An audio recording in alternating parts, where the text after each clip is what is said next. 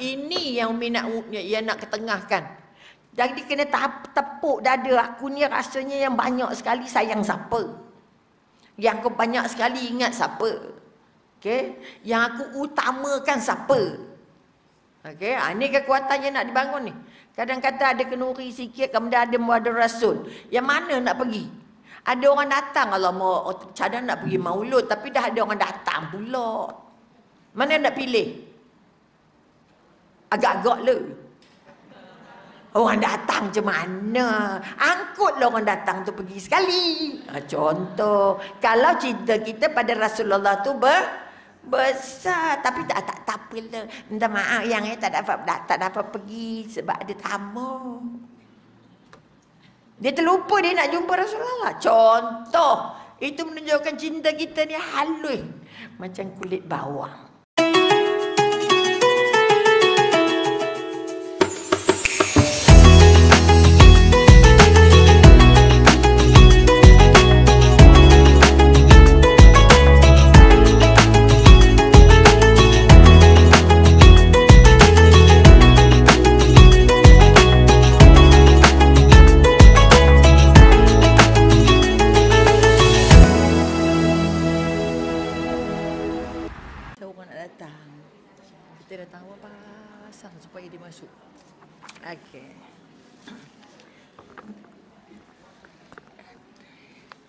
Auzubillah minasyaitonirrajim. Bismillahirrahmanirrahim.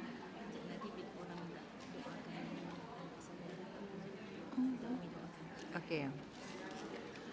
Auzubillah minasyaitonirrajim. Bismillahirrahmanirrahim. Alhamdulillahirabbil alamin wassalatu wassalamu ala asyrafil anbiya'i wal mursalin wa ala alihi wa sahbihi ajmain. Rabbi syarih sadri wa yassir li amri wa hlul 'uqdatam min lisani yafqahu qawli.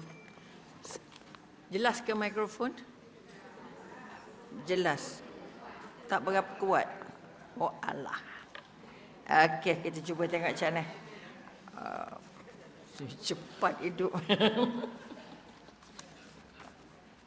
Pertama minta maaf kata terlewat. Dengan ha? Itulah selalu cepat tu sekali-sekala lah kan. Okey insya-Allah. Jadi kalau ikut tajuk kita, auzubillahi minasyaitonir rajim. Bismillahirrahmanirrahim.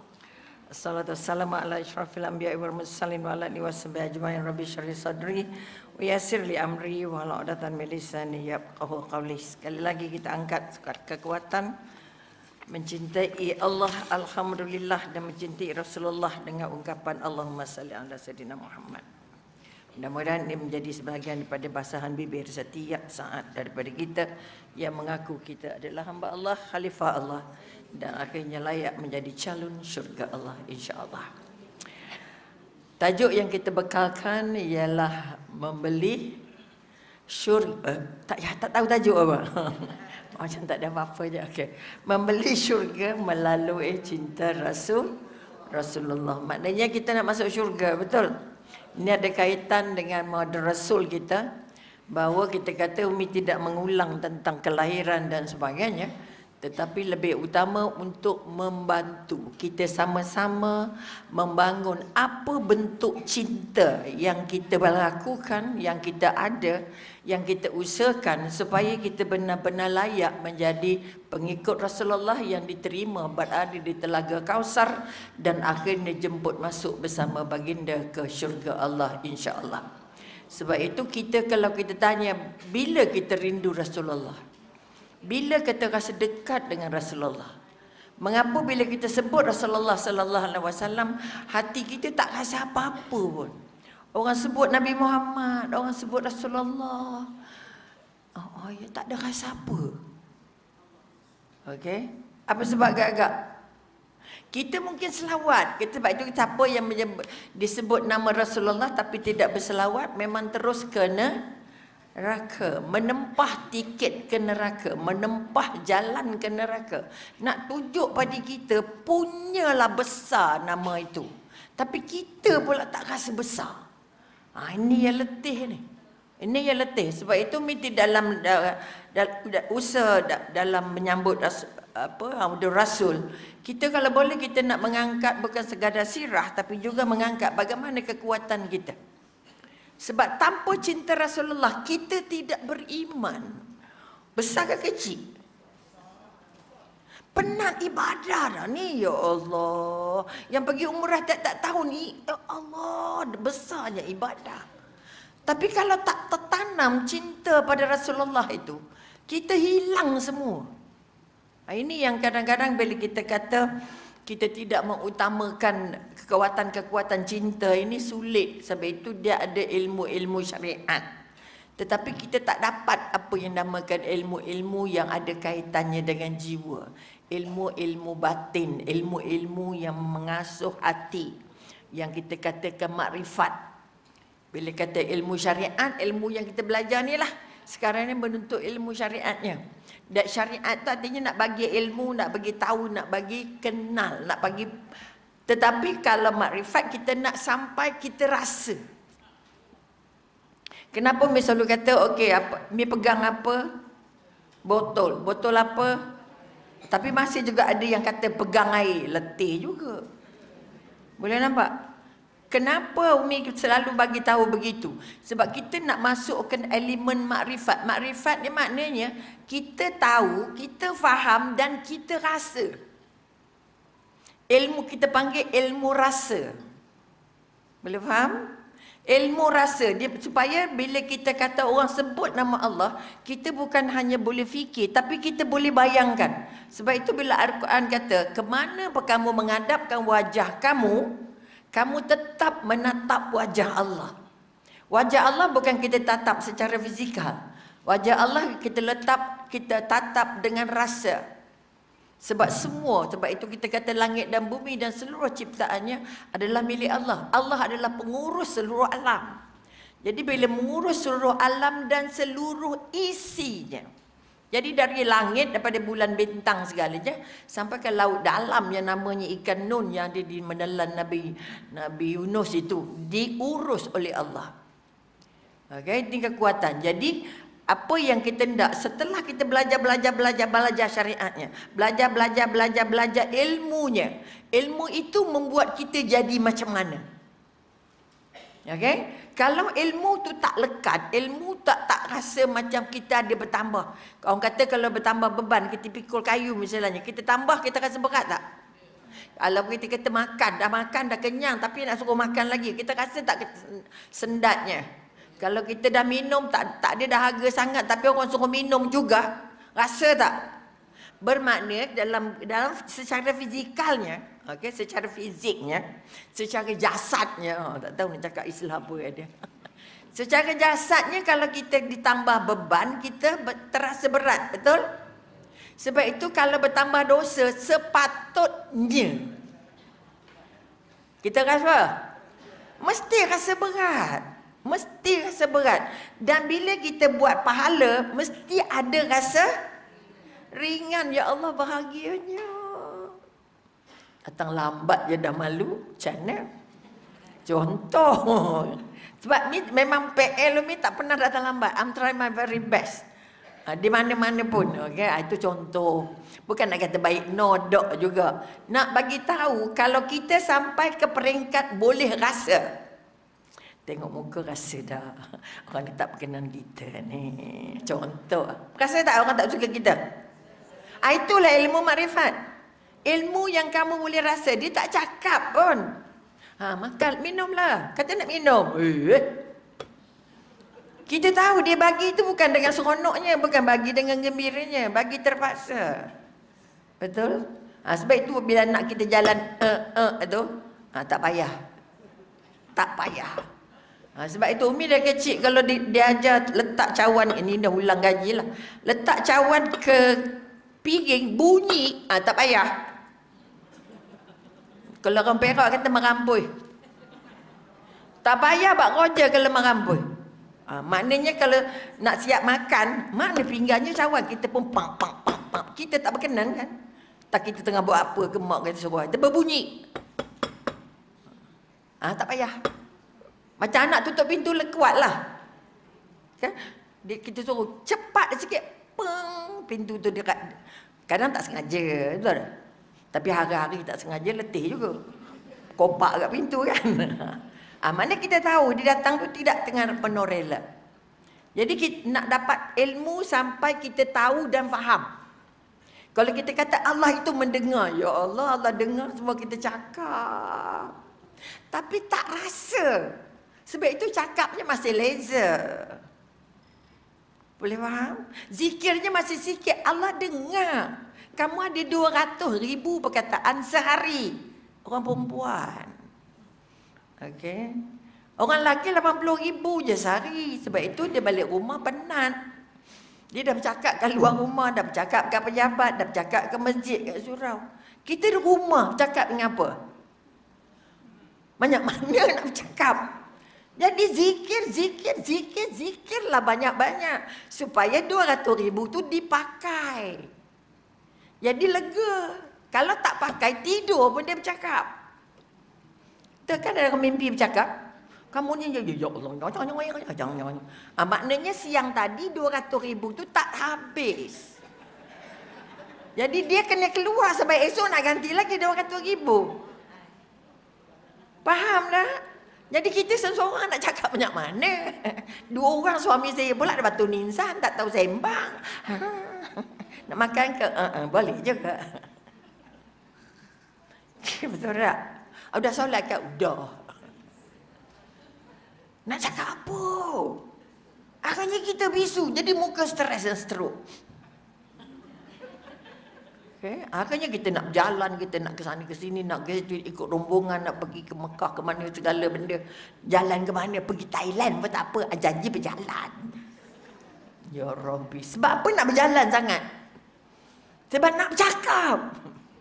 Bayangkan berjalan dengan kawan kita, tak ada kawan orang lain. Apa sebab? Senang sembang. Ya Allah, dia tak kena, tak boleh duduk sebelah dia, tak kena.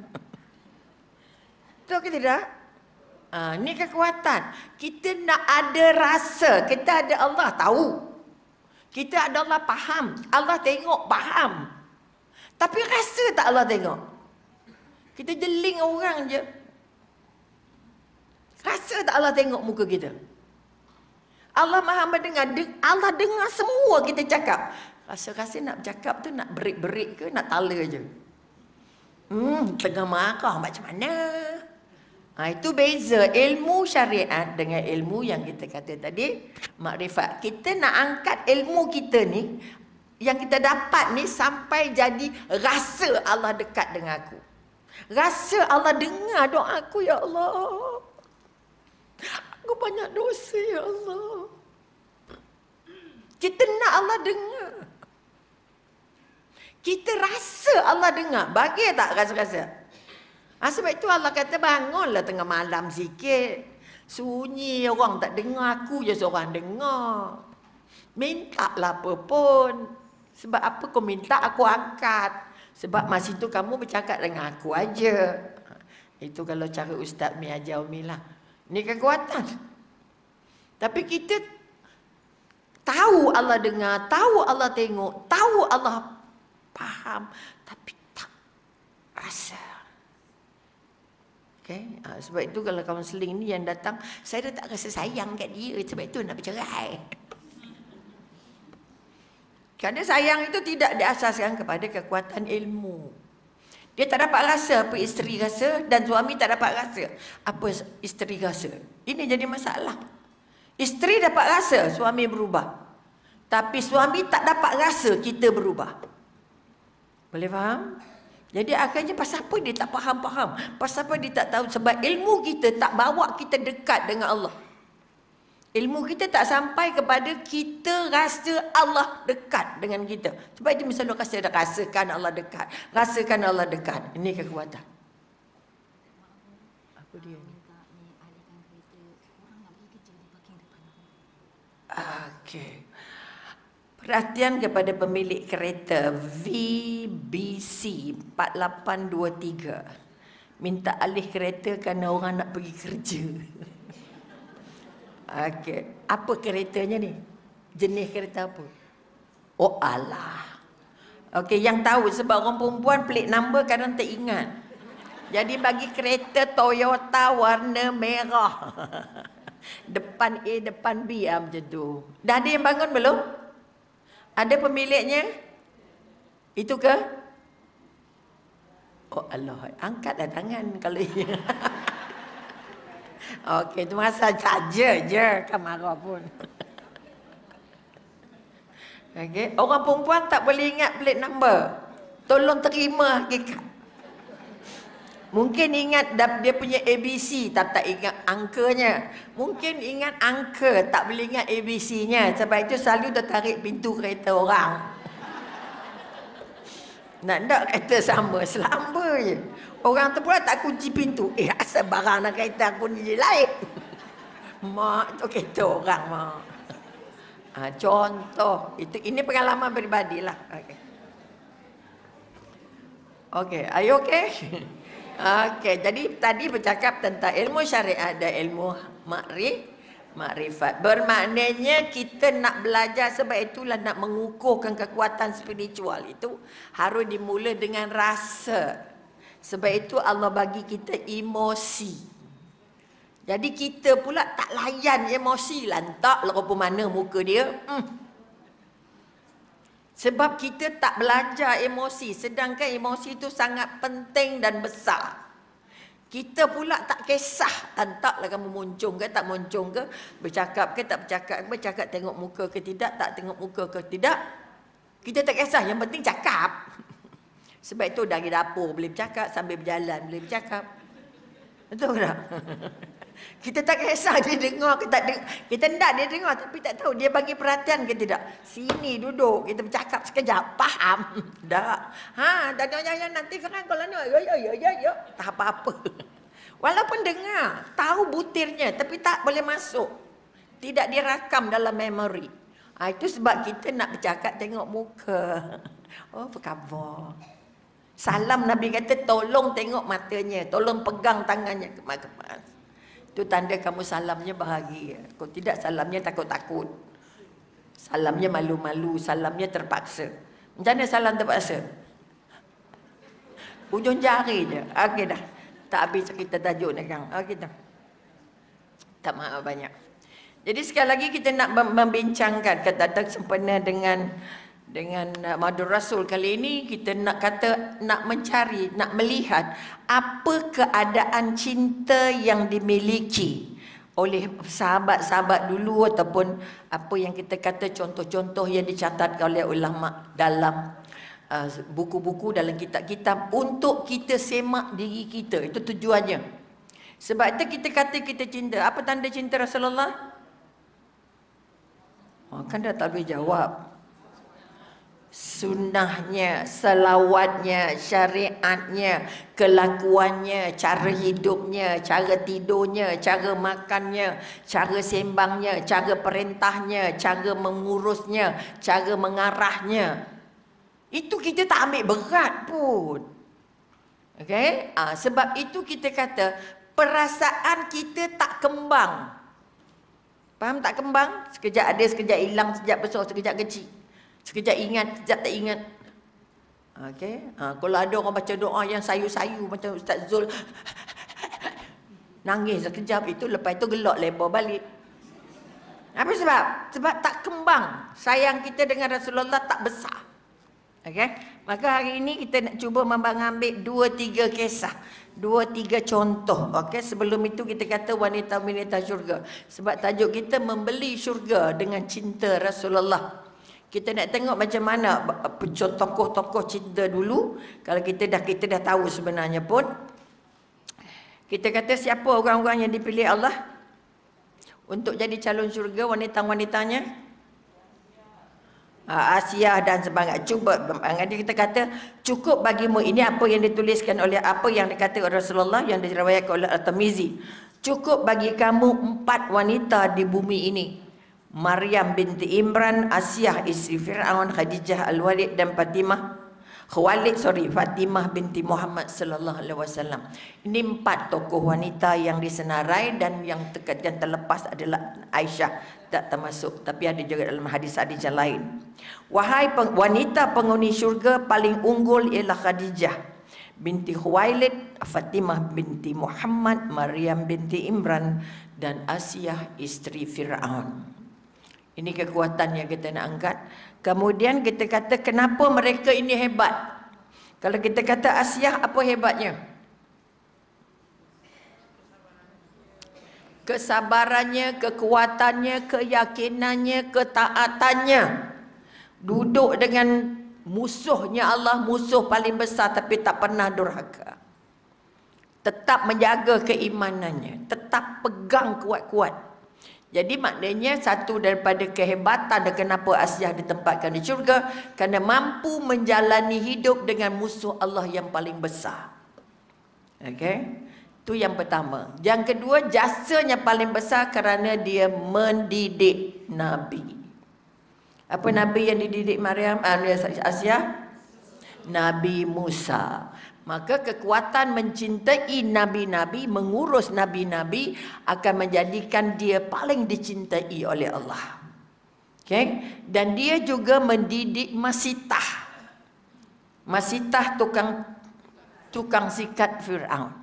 Jadi ini di antara kita kata syarat mengapa mereka ini dipilih selain daripada keyakinan, selain daripada keimanan, selain daripada ketaatan, tetapi tugas besar yang mereka buat tugas mereka sebagai manusia, tugas mereka sebagai hamba Allah dan tugas mereka sebagai isteri.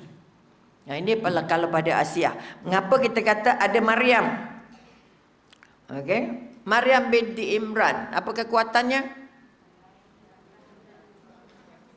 Wanita paling kuat. Apanya yang kuat? Kuat kekuatan keyakinan menerima apa yang Allah bagi. Maka ketokohan Maryam bukan sahaja dia dari lahirnya suci, dari seorang ibu, ibu ayah yang hebat dan dididik di mihrab ataupun di rumah ibadat tak ada dosa. Kita anggap tak ada dosa langsung. Kerana maknya sudah berdoa aku nak jadikan anak aku ini orang yang menjaga ibadah. Dan yang paling utama dia membesarkan seorang Nabi. Ini nak Umi nak kaitkan bahawa bila kamu terlibat hidup menghidupkan nabi-nabi bersentuhan dengan nabi, mendidik nabi bermakna mereka pilihannya Allah. Ini kekuatan. Ha, sebab itu kita kata Maryam hebatnya bukan saja boleh melalui ujian-ujian petenah dan segala benda. Tapi dia sudah dari mulanya, dari dalam kandungannya sudah didoakan nak jadi anak ibadah. Betul?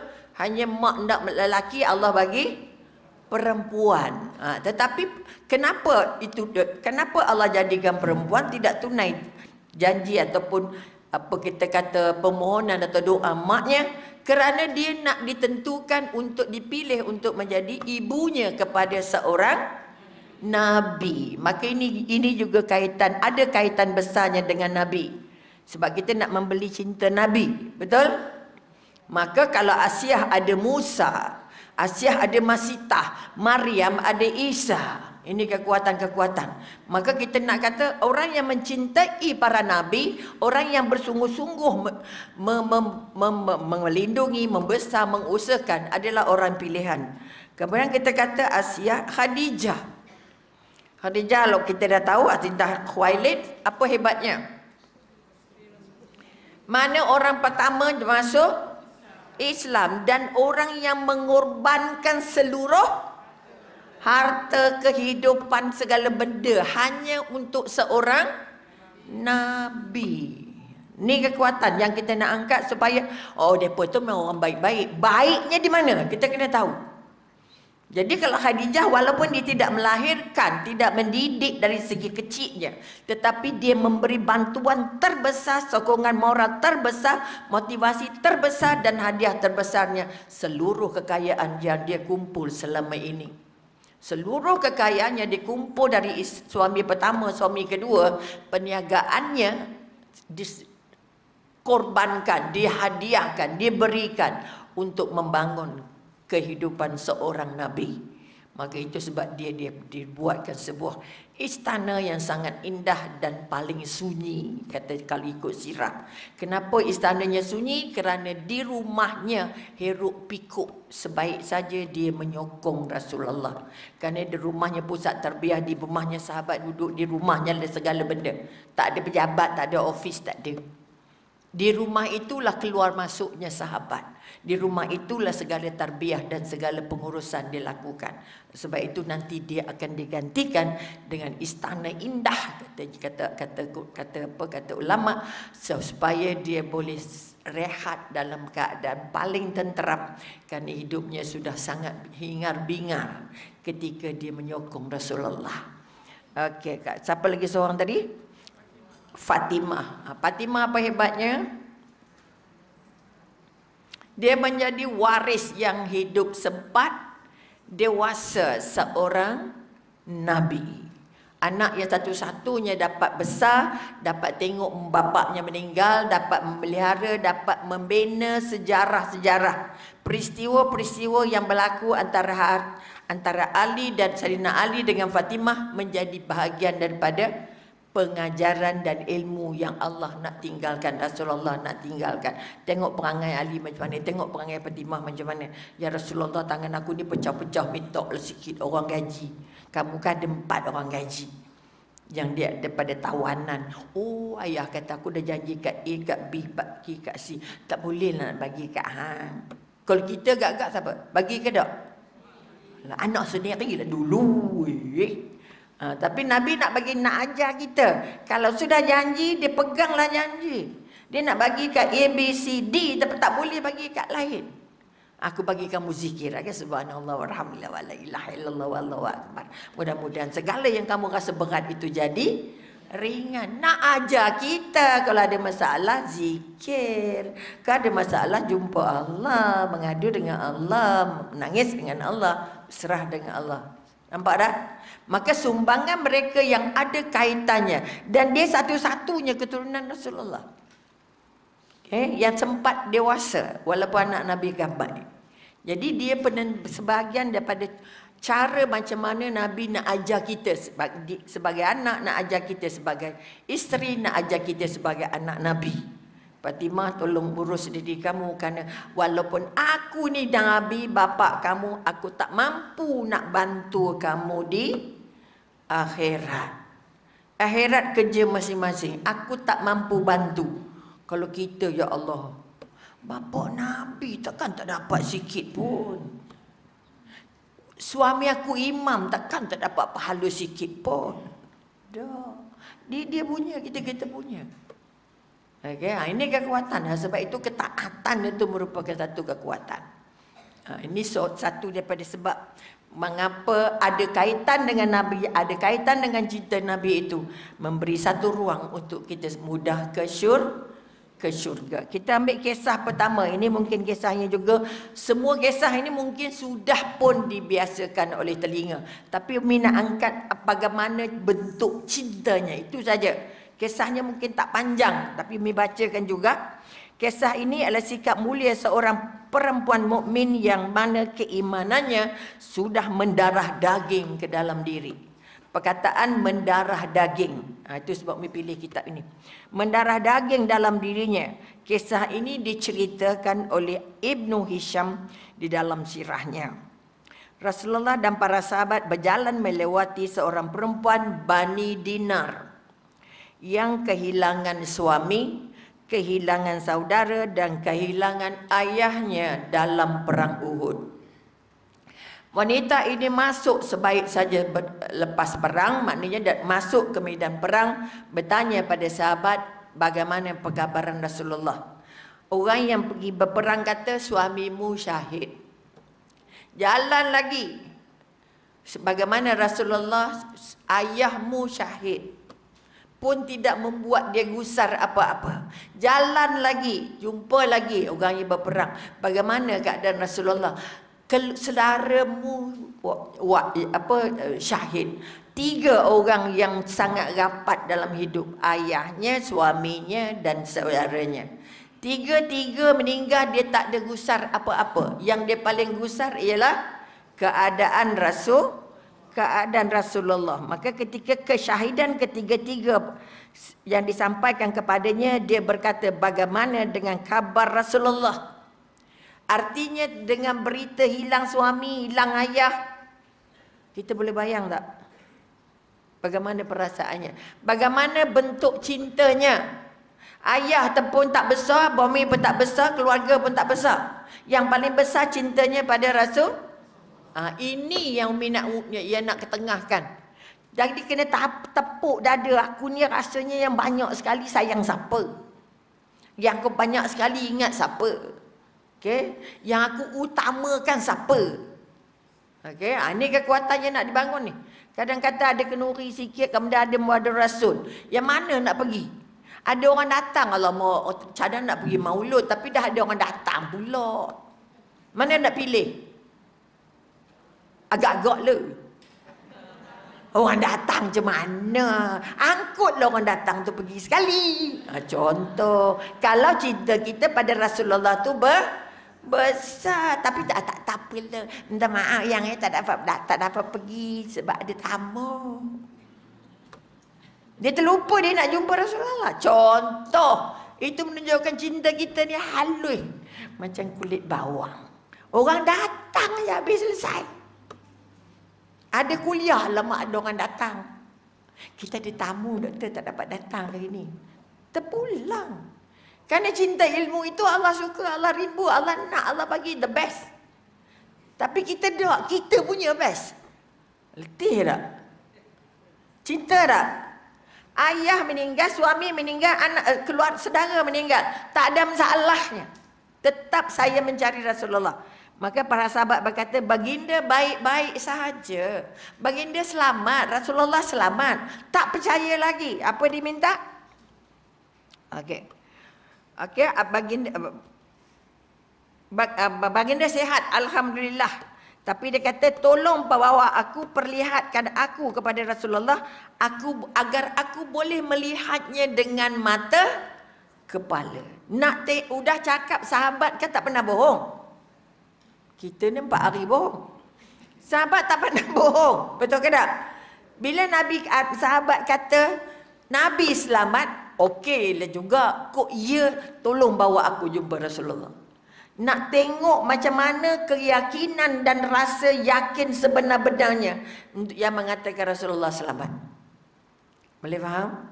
Nak tengok yang kita kata cintanya telah mendarah daging. Apa dia cakap setelah dia jumpa? Okey.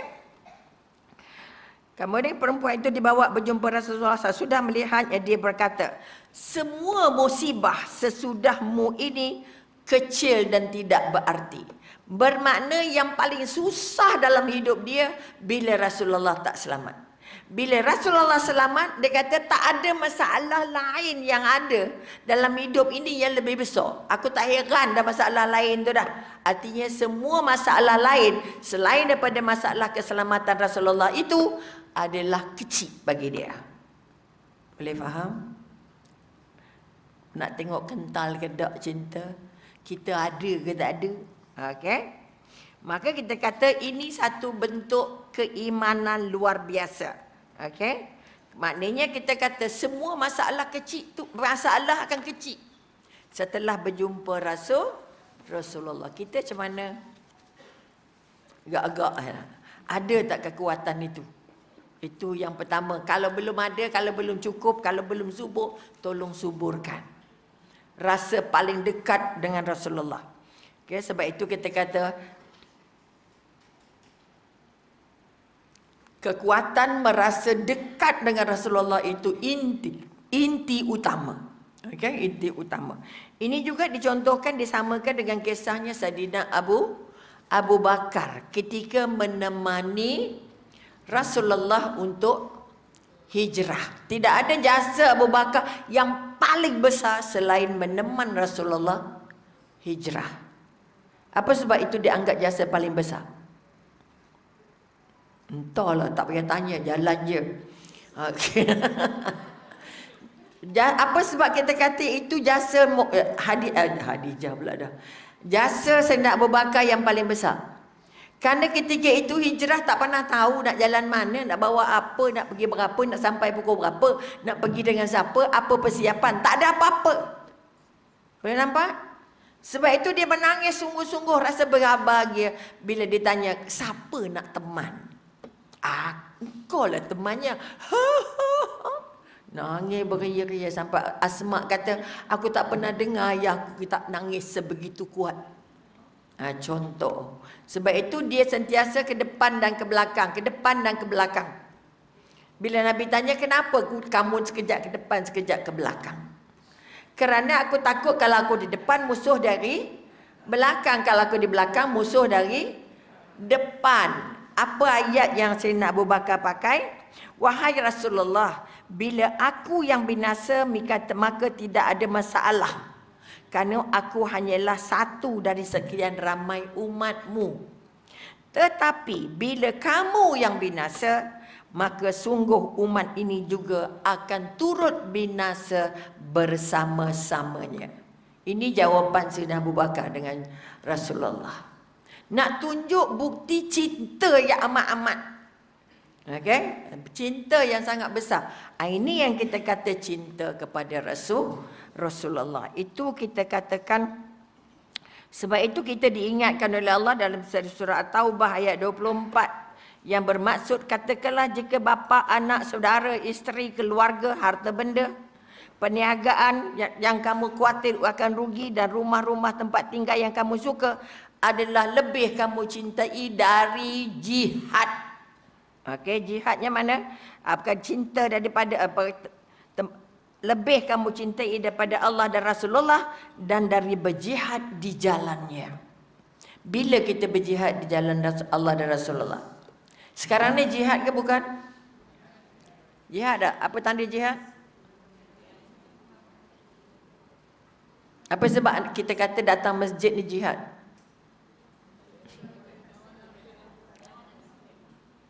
Lawan nafsu. Okey bagus lain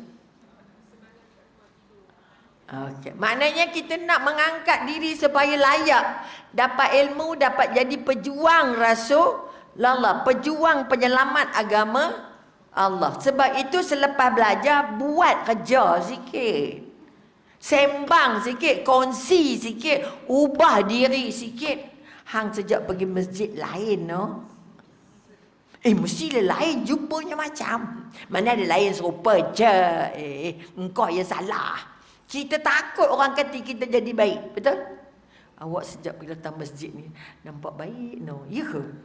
Mana ada? Nampak warak je. Tak adalah. Betul ke tidak?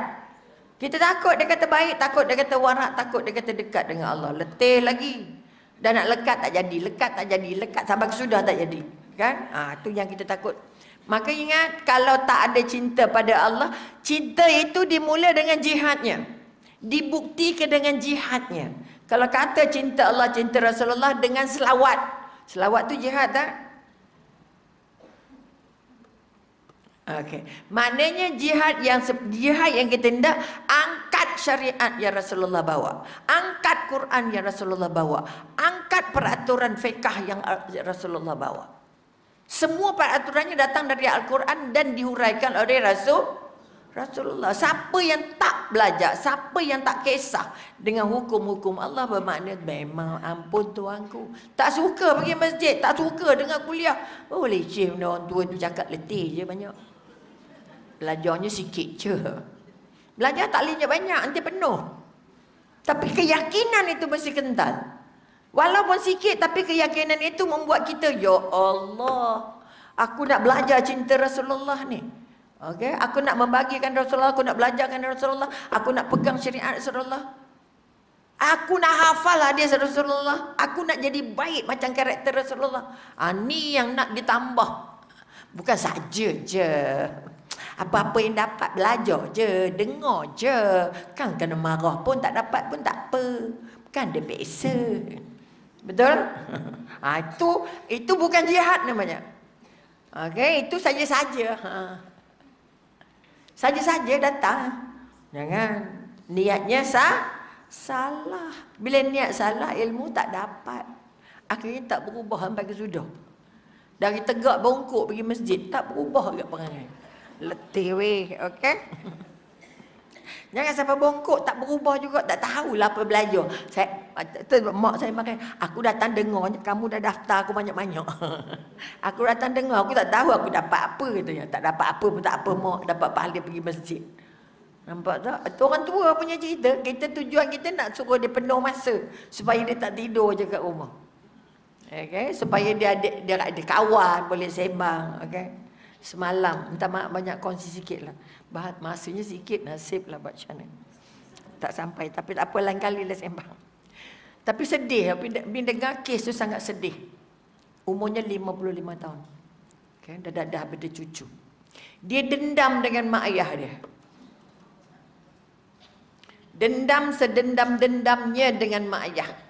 Kononnya mak ayah dia tak jaga, tak uh, pilih kasih, maknya tak beri kasih sayang, maknya neglected dia.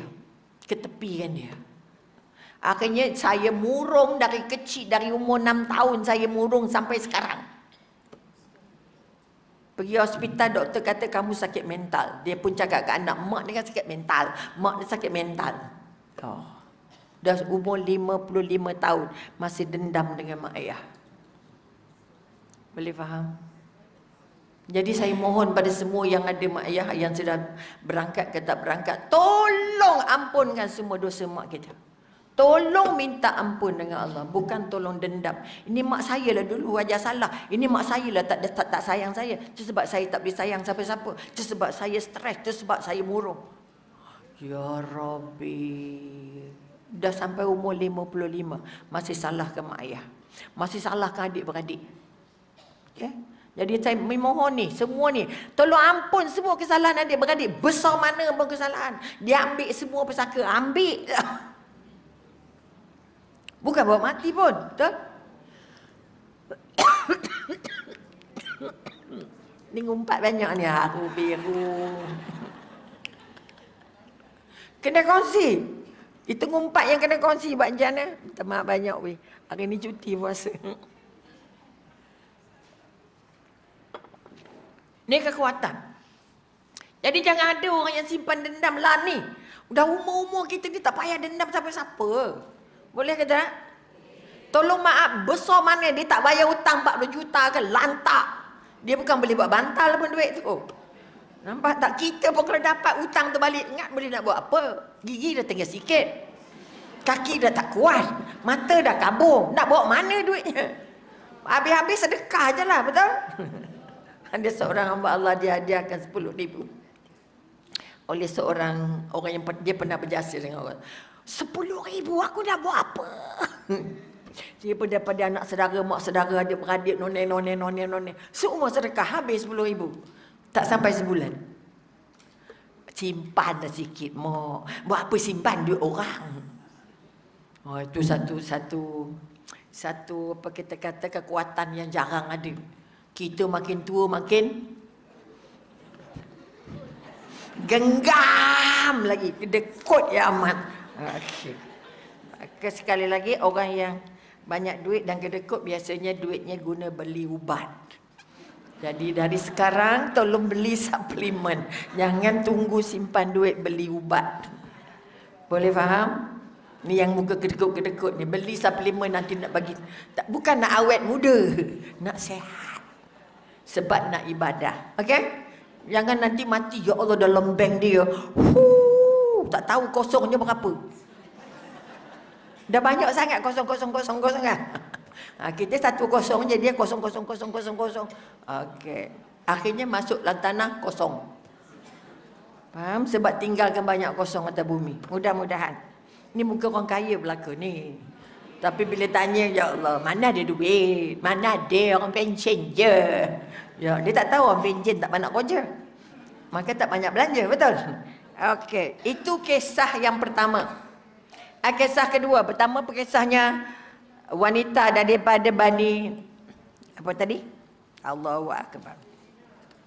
Bani Dinar. Yang kedua kita kisah cintanya Sadina Abu Abu Bakar. Ketiga.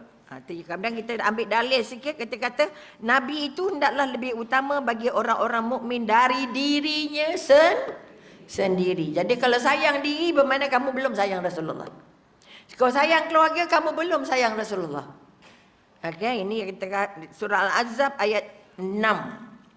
Okey, kemudian Rasulullah sendiri pernah berkata, demi zat yang jiwa aku berada dalam genggamannya, tidaklah beriman Okey, seseorang di antara kamu sebelum aku menjadi orang yang paling dicintai. Paling, perkataan paling tu Yumi takut.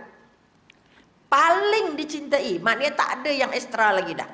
Yang paling dicintai daripada ibu bapanya, kita sayang mak ayah tapi kena sayang Nabi lebih banyak lagi cinta Nabi daripada anak-anaknya dan dari seluruh umatnya. Nak bagi tahu pada kita bahawa cinta Nabi yang kita sekarang tak berapa nak berat ni, tak terapa berapa nak ada ni, tolong tambah, tolong bangunkan, tolong bagi kekuatan. Okey, kemudian ada beberapa contoh lain juga, tapi Umi nak bacakan kisah saja, kisah-kisah. Alamak, ada ke sebelah ya. Ampun tuanku. Apa laju sangat ya. Okey, kita ambil kata-kata tanda-tanda cinta tadi. Kisah seorang mana ke dia tadi? Aduh hai, hilanglah pula. Okey, cerita kita kata kita ambil contoh seorang hamba yang dibeli oleh oleh Nasadin oleh Aisyah. Okey, namanya Barirah. Okay, Barirah seorang hamba yang di yang disukai bukan disukai yang dipilih oleh Aisyah untuk dibeli jadikan hamba di rumahnya. Okey, tapi dia kata orang tu oh, tuannya kata dia kau tak bagi. Tak bagi maka dia kata dia kata kalau kalau kamu hanya boleh ambil uh, Barirah ini dengan syaratnya kita kata ada walak. Walak artinya ada rasa cinta, ada rasa sayang. Kamu jangan ambil dia hanya nak jadi orang gaji je. Kan kita ramai ada orang gaji tapi tak pernah sayang orang gaji dengan sepenuh hati. Tak pernah sayang orang gaji kerana Allah. Kita sayang sebab dia lama dengan kita. Kita sayang sebab dia kerja bagus. Kita sayang sebab dia jaga anak kita baik-baik. Tapi kalau ini uh, majikan kepada Barirah yang nak nak bagi hambanya pada Aisyah, kamu mesti ada walak ini dulu. Kamu mesti ada rasa cinta kerana Allah bukan kerana dia. Bukan kerana dia nak bekerja dengan kamu. Oh ini satu contoh. Dan akhirnya dapat dibeli dan Barirah dibebaskan. Jadi hamba yang merdeka. Okey? Tapi selepas itu baru Nabi tahu, Aisyah tahu bahawa Barirah ada seorang ada suami yang sangat mencintainya yang bernama Mukhid nama suaminya dan juga seorang hamba. Hamba dengan bukan hamba tak boleh kahwin sebenarnya dari segi peraturan sebab tarafnya berbeza. Okey, maka apa yang terjadi bila Nabi dan bila Aisyah bertanya apa berbincang dengan Rasulullah dia kata Baridah ini ada suami dan suaminya sangat mencintainya. Pernah suaminya ikut kalau Balirah pergi masjid dengan Aisyah diikut ke tepi untuk nak meninjau. Mudah-mudahan suami istrinya tidak balik.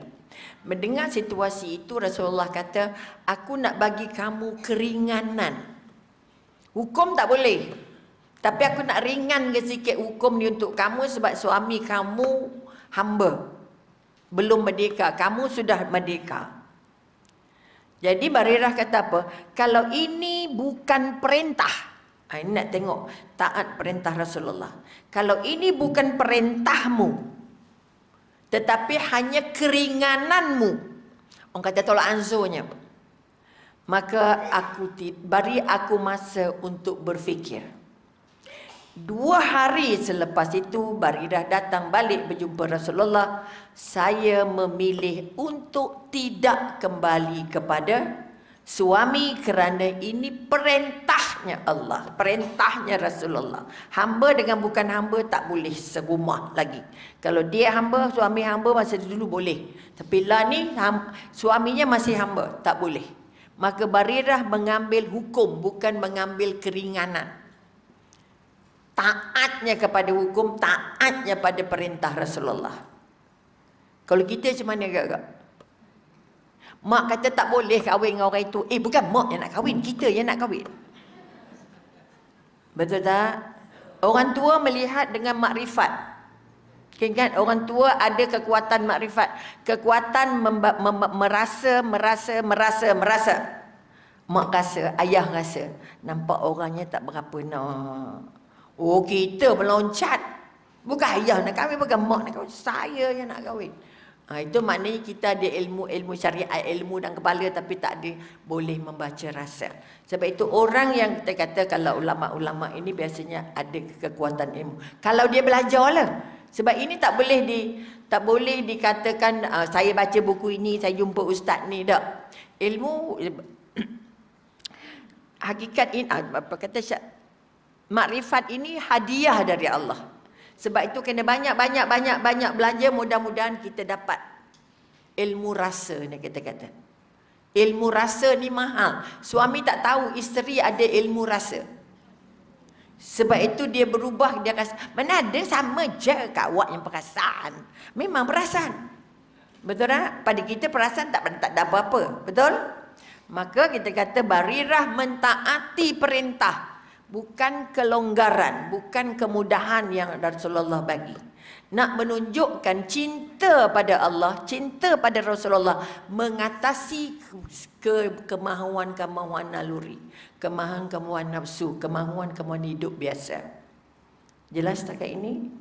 Cinta. Sebab itu cinta Nabi tiga ada tiga cara. Tiga jenis. Okey, maknanya apa tiga jenis? Ah, tiga jenis lah. Sebab kita katakan kalau ulama mengatakan kata-katalah kalau kita ambil contoh contoh yang diberi oleh Imam Nawawi tentang cinta, okey. Imam Nawawi kata manusia ada tiga cintanya. Ni yang paling kasar, yang lain-lain tu banyaklah. Kalau baca buku muhabbah tu, oi, definisi cintanya sampai seratus. Muntah kita nak faham. Okay, kita ambil Imam Nawawi punya tiga je dia kata. Nak tahu, nak semak cinta kamu, cinta mana yang kamu ada? Pertama, semua orang ada cinta yang berbentuk hormat. Berbentuk menghargai. Itu cinta pada siapa? Cinta kepada ibu, ibu bapa. Sebab itu macam mana sayangnya kita dengan mak ayah, jarang kita tidur dengan mak ayah kita.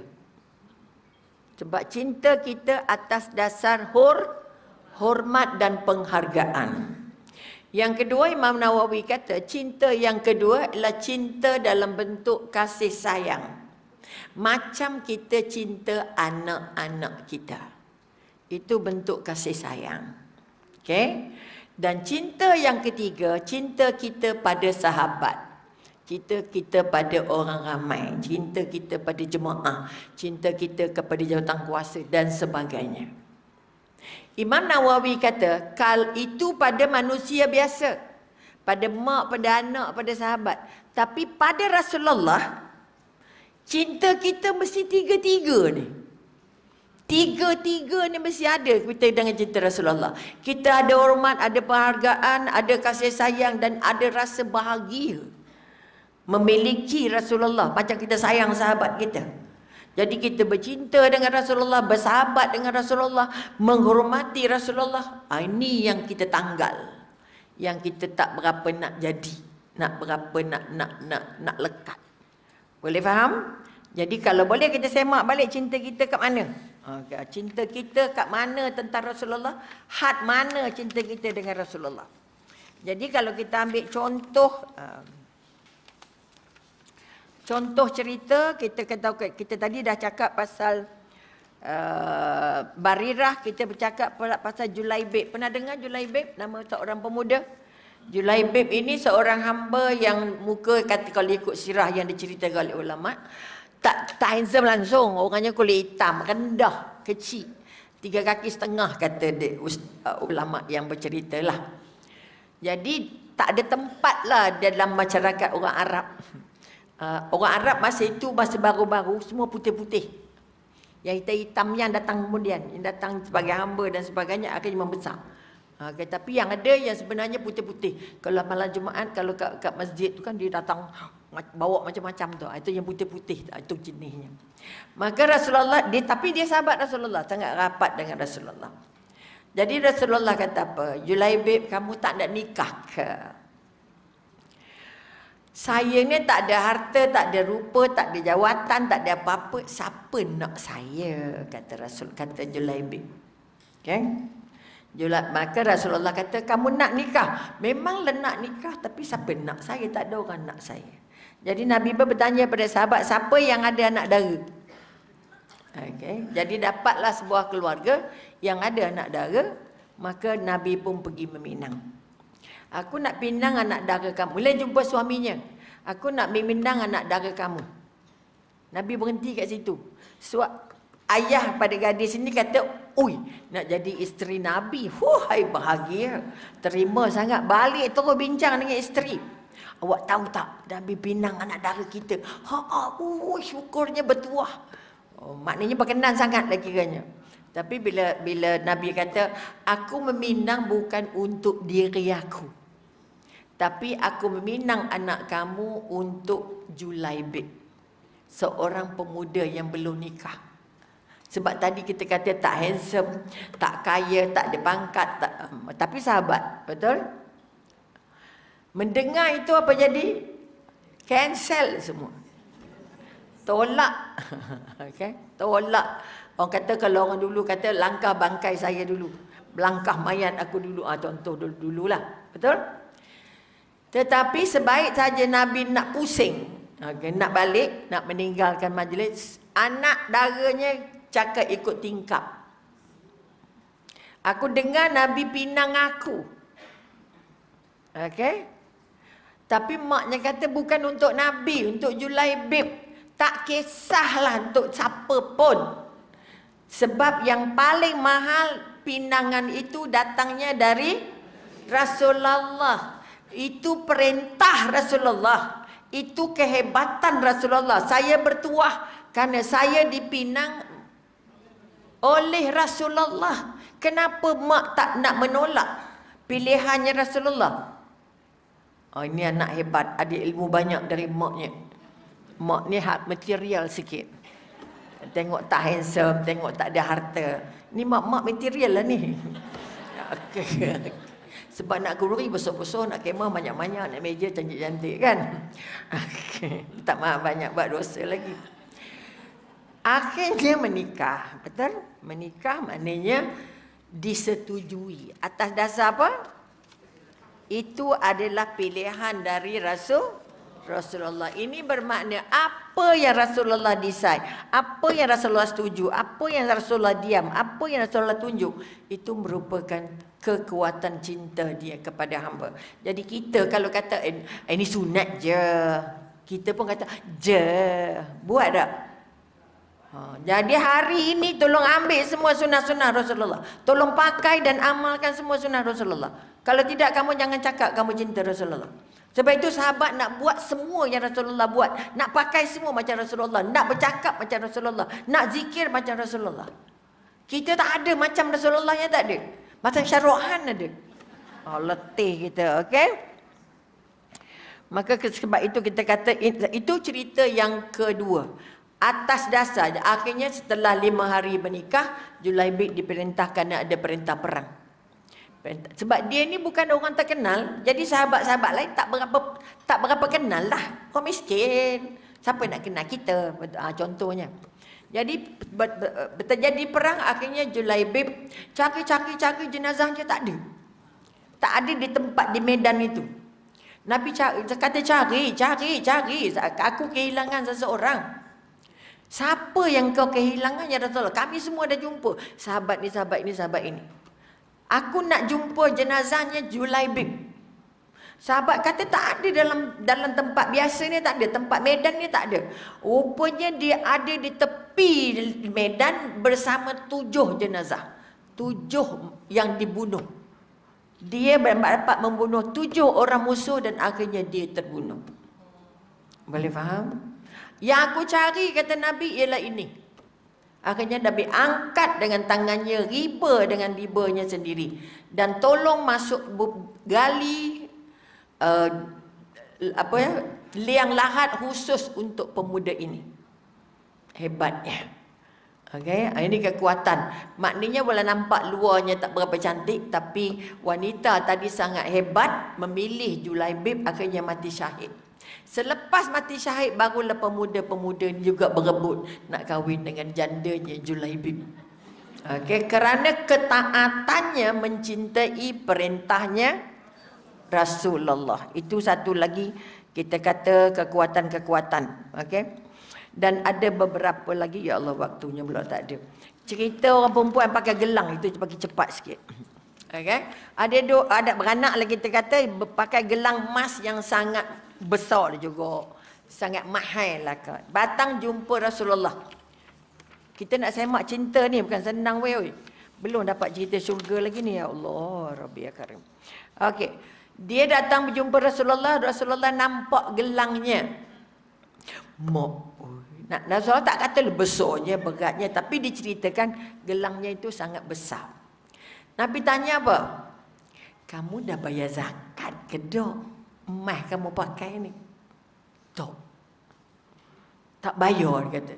Entah siapa buat petua kalau pakai tak payah bayar zakat. Betul ke tak? Hati-hati pakai kalau berlebih. Kepakai satu tak apalah. Kalau pakai sepuluh. Mi pernah dapat sahabat dia pakai dekat sepuluh ni. Kalung ni. Kan kita jarang buka baju kan. Jangan tahu. Satu kali dapat skema dengan dia.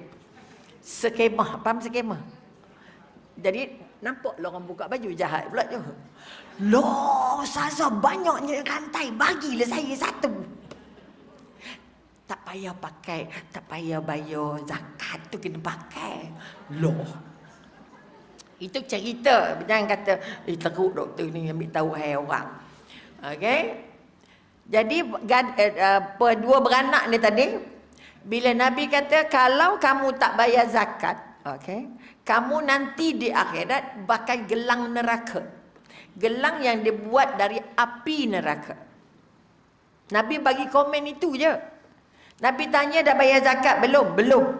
Jadi kalau kita patutnya apa? Kalau kita punya gelang, jawapannya apa selepas itu? Nanti kami bayar lah. Kami bayar lah ni lah. Cuba Rasulullah kira berapa zakatnya. Betul? Tapi apa yang wanita ini buat? Dia buka gelangnya dua-dua bagi kat Rasulullah. Kamu buatlah apa yang baik. Kami tak nak lagi gelang ni. Patutnya boleh cakap ah, tak apa berapa cukainya, berapa berapa zakatnya. Betul tak? Ha, tapi sebab hormat, sebab taat dengan perintah Rasulullah bagi semua. Bagi gelang-gelangnya tadi nak bagi tahu kita cinta pada peraturan yang Rasulullah buat melebihi daripada cintanya pada harta-harta yang dia ada. Ini di satu lagi bentuk kisah cinta yang di apa kita katakan yang menjadi satu titik pada kita. Aku banyak mana cinta pada Rasulullah. Aku rasa ikut peraturan Rasulullah ni banyak mana. Aku ikut sunnah Rasulullah ni kat mana. Ha, sebab itu kekuatan-kekuatan yang kita nak, nak buat ialah menghiasi diri kita dengan karakter-karakter Rasul Rasulullah. Jadi dan ni kita nanti kita ambil kira bahawa dengan dengan mencintai maknanya kita kata yang paling banyak kalau sini ada 15 macam mana menghiasi diri kita dengan akhlak Rasulullah tapi yang paling besar yang nak angkat sebab dah pukul 11.30 maka kita kata tolong balas semua keburukan dengan kebaikan. Kalau ini boleh pegang kita mungkin dapat sikit tempias cinta Rasulullah yang hakiki okey Kemudian kita kata jangan melakukan jenayah-jenayah. Maknanya dosa kecil, sekecil mana pun kalau boleh jangan lagi terjebak. Jangan terjebak lagi dengan sembarang maksiat. Dan kedua, tolong jauhi semua kemungkaran. Dan kita kata rendahkan suara kamu ketika bercakap. Kita bercakap satu Malaysia dengar. Jadi Nabi tidak bercakap kuat-kuat, Nabi cakap pelan-pelan. Jadi tolong bagi bacalah uh, cari buku yang kita katakan menceritakan kisah Rasulullah banyak. Okay, kalau kita baca sendiri ingatannya kuat. Bila baca orang bacakan ingatannya tipis-tipis. Jadi kalau kita kata kalau kamu benar-benar mencintai Rasulullah, pertama tolong angkat syariat yang dibawa. Tu itu kekuatan pertama. Tolong pegang apa yang Nabi bagi. Sama ada melalui Al-Quran, melalui hadis, melalui perbuatan, melalui sikap, melalui pesan dan karakternya dengan sahabat dan sebagainya. Tu yang pertama. Kedua, tolong ambil kira bahawa kita layak untuk dapat semua pahala tak pungut sebarang dosa sebab Nabi tak pernah ada dosa sebab dia maksum betul bukan sebab dia maksum kerana dia mendidik kita dengan akhlak yang baik. Jadi tolonglah kalau kita kata nak jadi layak jadi calon syurga orang yang empat orang ni tadi. Okay. Yang kita sebut tadi ada lagi Halijah, ada lagi Fatimah, ada lagi Rabi'ah atau Adawiyah dan sebagainya. Ada ada beberapa lagi. Jadi mungkin kita boleh bincang sikit tajuk wanita-wanita yang layak ke syur, syurga. Apa karakter-karakter mereka dan segalanya. Sebab kalau kita ambil, kita kata Maryam binti Imran itu juga calon-calon syurga. Siapa Maryam? Ah, entahlah. Ada banyak lagi. Jadi sekurang-kurangnya dengan mengetahui tokoh-tokoh ini kita dapat belajar sikit-sikit. Artinya belajar sikit ke banyak? Belajar sikit dah lah. Apa yang nak banyak? Makan dah banyak lah belanjanya sikit-sikit. Dah lah mana larat. Dah tua betul? Auzubillah minasyaitonirrajim bismillahirrahmanirrahim. Alhamdulillahirabbil alamin. Assalatu wassalamu ala asyrafil anbiya'i wal mursalin ala alihi washabihi ajmain. Ya allah yang mencipta kami, yang mendidik kami, yang mengurus hidup kami, Ya Allah. Yang menggunakan kami segala nikmat tanpa kami minta, Ya Allah. Engkau yang maha mendengar, yang maha melihat, yang maha kuat. Engkau yang maha pengasih, pemurah lagi maha penyayang. Ya engkau lah yang maha mengurus, ya bari. Ya Allah, ya Rahman, ya Rahim, ya Malik, ya. Ya Kudus, Ya Salam, Ya Mu'min, Ya Muhaimin, Ya Aziz. Ya Jabbar, Ya Mutakabir, Ya Khalik, Ya Bari, Ya Musam. Ya Wafa, Ya Qaha, Ya Wahab Ya Razak, Ya Fatah, Ya Alim. Keagunganmu, kekuatanmu, kekuasaanmu. Kasih sayangmu melimpah kepada kami, Ya Allah Tanpa henti, Ya Allah. Tapi sayangnya syukur kami yang sedikit naik kepadamu, Ya Allah. Maka di pagi yang bahagia ini, Ya Allah Di doa yang berkah ini, Ya Allah Kami mendadatangkan kepadamu, Ya Allah Penuhkanlah hati kami ya Allah dengan cintamu dan cinta kekasihmu ya Allah. Jadikan cinta kami dengan seisi dunia ibu, ayah, anak, suami, isteri, keluarga. Letaklah di tangan kami ya Allah. Letaklah di hati kami cinta kepadamu dan cinta kepada kekasihmu sahaja ya Allah agar kami tidak mati dengan cinta dunia dan seluruh isinya ya Allah. Tolong tanggalkan cinta kami kepada dunia dan isinya. Masukkan dan gantikan dengan cinta kami kepadamu dan kekasihmu ya Allah. Kerana engkau sudah berjanji bahawa kami akan bersama dengan orang-orang yang kami cintai ya Allah kami ingin bersama kekasihmu Rasulullah sallallahu alaihi wasallam ya Allah. Kami ingin dipimpin masuk ke syurga bersama baginda ya Allah. Maka tolong baharuilah cinta kamu sekami. Suburkan cinta kami agar kami benar-benar layak mencintainya dengan cinta yang hakiki ya Allah. Selama ini kami menyebutnya dan berselawat tetapi syariatnya, akhlaknya, adabnya apa yang ditinggalkannya kami tidak ambil berat ya Allah. Maka ya Allah sekarang kami mampu berselawat. Mampu kalau juga kami membaca seluruh sirah Rasulullah dan nabi-nabimu yang kami wajib mengetahuinya ya Allah. Berikan kami ruang untuk sempat dalam dari segi amal ilmu untuk kami menambah kekuatan agar usia kami ini mampu dijadikan bukti kami mencintai kekasihmu ya Allah. Ya Allah ya Tuhan kami. Jangan sampai kami kering dengan cinta kepada kekasihmu Kerana kami sudah diingatkan tidak kamu berjumpa Allah jika tidak berjumpa Rasulullah. Kami tidak mampu mencintai Allah jika kami tidak mampu mencintai kekasihmu Rasulullah sallallahu alaihi wasallam. Oleh itu ya Allah, basuhlah hati kami, balik-balikkan hati kami.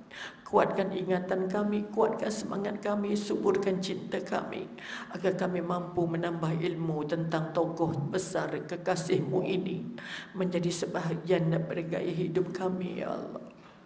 Jadikan kami mampu untuk membangun anak-anak kami memahami dan mencintai kekasihmu ini, Ya Allah.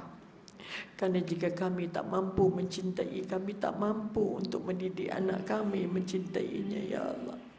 Berikan kami kesempatan dan ruang agar kami mampu beribadah yang dapat menjumburkan cinta kami kepada kekasihmu ini, Ya Allah. Rabbana hablana min azwajina wa dzurriyyatina qurrata waj'alna lil muttaqina imama. Rabbana la tuzigh qulubana ba'da idh hadaytana wa hab lana min ladunka rahmah innaka antal wahhab. Rabbana zalamna anfusana wa illam taghfir lana wa tarhamna lanakunanna minal khasirin. Kami juga memohon darimu ya Allah. Ada seorang anak sahabat kami ya Allah. Muhammad Adam Danish bin Abdul Rahman ya Allah yang sedang diuji dengan demam denggi berdarah ya Allah. Yang sekarang ini berada di ICU HKL ya Allah Jadikanlah majlis kami hari ini satu keberkahan yang dapat dilimpahkan kepada anak ini ya Allah. Mudah-mudahan dia selamat di ICU dan kembali pulih sebagaimana yang Engkau izinkan ya Allah. Berikanlah juga kesabaran kepada ibu ayahnya ya Allah kepada keluarganya ya Allah untuk menerima takdirmu atas apa pun bentuk takdir yang kau untukkan untuknya ya Allah. Kami berdoa agar anak ini ataupun hamba ini diberi kesempatan untuk melemui kesihatan sebagaimana yang sebaiknya ya Allah. Semudah-mudahan usaha ikhtiar itu menjadi keberkatan, keberkahan dan kesihatan dan kesembuhan itu di tanganmu ya Allah maka kami kembalikan ujian ini untuk engkau urus supaya dapat yang terbaik ya Allah Rabbana atina fid dunya hasanah wa fil akhirati hasanah wa qina azabannar. Wa sallallahu ala sayidina Muhammad wa ala alihi wa sahbihi wa sallam walhamdulillahi rabbil alamin. Taqabbalallahu minkum. Minna wa minkum.